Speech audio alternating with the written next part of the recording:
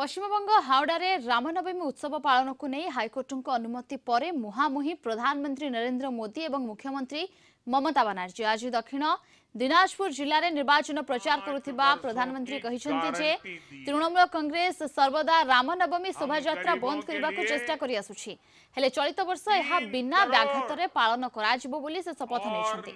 ଏନେଇ କୋର୍ଟଙ୍କ ଅନୁମତି ମିଳିଛି ଓ ଆସନ୍ତାକାଲି ଭକ୍ତି ଓ ବିଶ୍ୱାସର ସହିତ ରାମନବମୀ ଶୋଭାଯାତ୍ରା ବାହାରିବ ବୋଲି ପ୍ରଧାନମନ୍ତ୍ରୀ ଘୋଷଣା କରିଛନ୍ତି।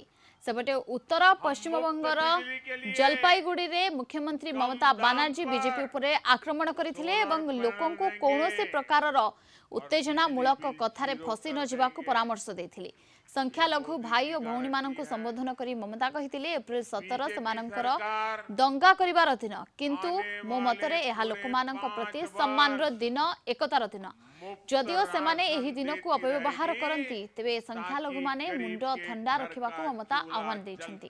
ପଶ୍ଚିମବଙ୍ଗ ହାଇକୋର୍ଟ ବିଶ୍ୱ ହିନ୍ଦୁ ପରିଷଦ ଏବଂ ଅଞ୍ଜନୀପୁତ୍ର ସେନାକୁ ଶୋଭାଯାତ୍ରା କରିବାକୁ ଅନୁମତି ଦେଇଛନ୍ତି କିନ୍ତୁ ଏଥିପାଇଁ କେତେକ ସର୍ତ୍ତ ରଖିଛନ୍ତି। ଶୋଭାଯାତ୍ରାରେ ଅତି ବେଶୀରେ ଦୁଇଶହ ଅଂଶଗ୍ରହଣକାରୀଙ୍କୁ ଅନୁମତି ମିଳିଥିବା ବେଳେ ସର୍ବସାଧାରଣରେ କୌଣସି ପ୍ରଚାର ଅସ୍ତ୍ରଶସ୍ତ୍ର ପ୍ରଦର୍ଶନକୁ ଅନୁମତି ଦେଇନାହାନ୍ତି। ଅଦାଲତ ଏହା ମଧ୍ୟ କହିଛନ୍ତି ଯେ ପ୍ରତି ରାଲିରେ କେବଳ ପ୍ରଭୁ ଶ୍ରୀରାମଙ୍କ ପ୍ରତିମା ବହନ କରିବା ପାଇଁ ଗୋଟିଏ ଯାନ ହିଁ ବ୍ୟବହାର କରାଯାଇପାରିବ। ଏପରିକି ରାଜ୍ୟର ଅଧିକାରୀଙ୍କ ବଦଳିରେ ବିଜେପି ହସ୍ତକ୍ଷେପ କରୁଥିବା ମମତା ଅଭିଯୋଗ କରିଛନ୍ତି ଏବଂ ଯଦି କୌଣସି ଦଙ୍ଗା ଆରମ୍ଭ ହୁଏ ତେବେ ବିଜେପି ଦାୟୀ ରହିବ ବୋଲି ସେ କହିଛନ୍ତି। ଗତବର୍ଷର ଶୋଭାଯାତ୍ରା ବେଳେ ଉତ୍ତେଜନା ଓ ଗଣ୍ଡଗୋଳକୁ ନେଇ ପଶ୍ଚିମବଙ୍ଗ ସରକାର ଏହି ଶୋଭାଯାତ୍ରା ପାଇଁ ଏକ ବିକଳ୍ପ ମାର୍ଗ ପ୍ରସ୍ତାବ ଦେଇଥିଲେ ଯାହାକୁ ନେଇ ଆୟୋଜକମାନେ ହାଇକୋର୍ଟଙ୍କ ଦ୍ୱାରସ୍ଥ ହୋଇଥିଲେ। मुझे पता है, टीएमसी ने हमेशा की तरह यहाँ रामनवमी उत्सव को रोकने की पूरी कोशिश की।